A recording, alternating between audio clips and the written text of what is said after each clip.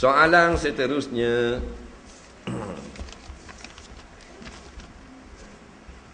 Apakah hukumnya kita mencukur janggut dan misai? Cukur misai harus cukur janggut. Jumhur ulama kata haram. Satu mazhab iaitu Syafi'i satu kaum mengatakan